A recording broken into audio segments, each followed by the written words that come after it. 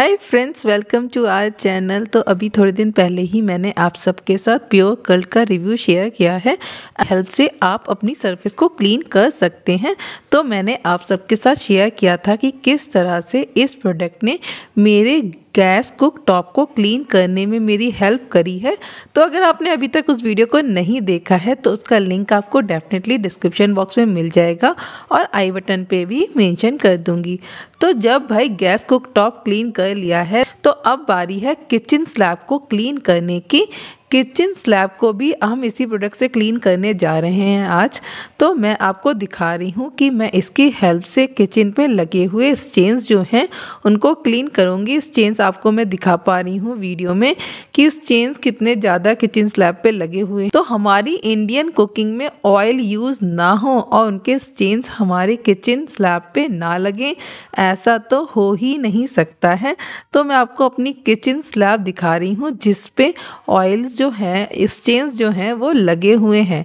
उसको इस प्रोडक्ट से रिमूव करने की कोशिश करते हैं।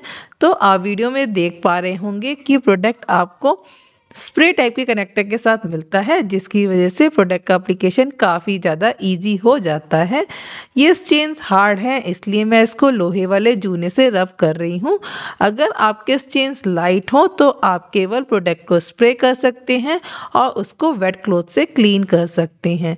लेकिन मुझे ऐसा लग रहा था कि मेरी जो किचन स्लैब है, उसके स्टेन्स हार्ड हैं और उनको रिमूव करने के लिए केवल अगर मैं उसको वेट क्लॉथ से ही क्लीन करूँगी तो स्टेन्स कम्प्लीटली रिमूव नहीं हो पाएँगे।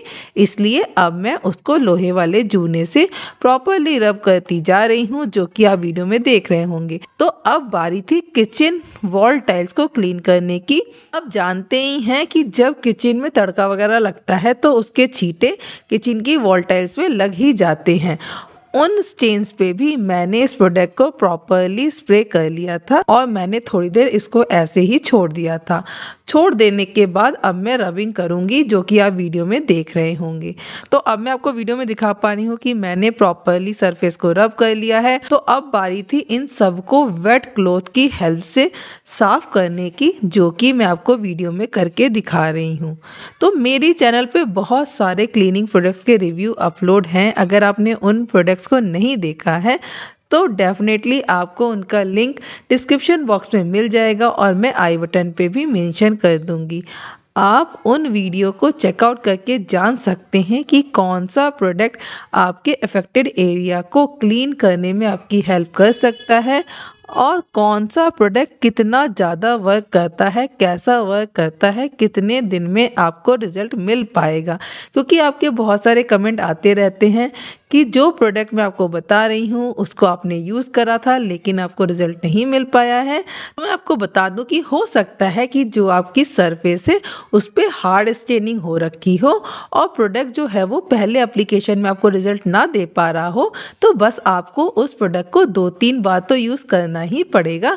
लेकिन अगर आप मेरे रेगुलर व्यूअर हैं तो आप जानते हैं कि किसी भी प्रोडक्ट का आप फ़र्स्ट टाइम अप्लीकेशन कर रहे हैं तो उससे पहले आपको स्पॉट चेक कर लेना है।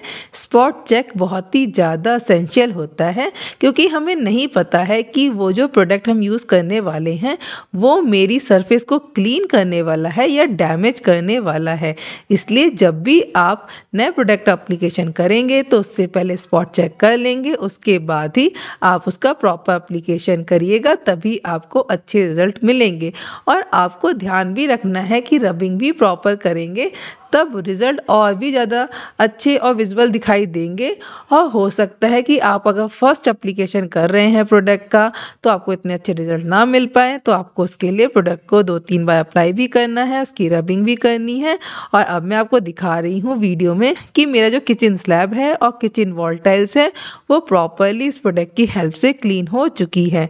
तो मैंने आप सबके साथ इस प्रोडक्ट से रिलेटेड मैक्सिमम इन्फॉर्मेशन शेयर करी है, लेकिन उसके अलावा भी अगर आपकी कोई और क्वेरी है तो आप मुझे डेफिनेटली कमेंट सेक्शन में पूछ सकते हैं। तो इस प्रोडक्ट का लिंक आपको डिस्क्रिप्शन बॉक्स में मिल जाएगा और अगर आपको वीडियो थोड़ी भी यूजफुल लग रही है, नए हैं इस चैनल पे, नहीं किया चैनल को सब्सक्राइब तो चैनल को सब्सक्राइब करना मत भूलेगा वीडियो को लाइक करना मत भूलेगा बेल नोटिफिकेशन को ऑन कर लीजिएगा ऑल पे सेट कर लीजिएगा, ताकि मेरी अपकमिंग वीडियो की नोटिफिकेशन आपको मिलती रहे।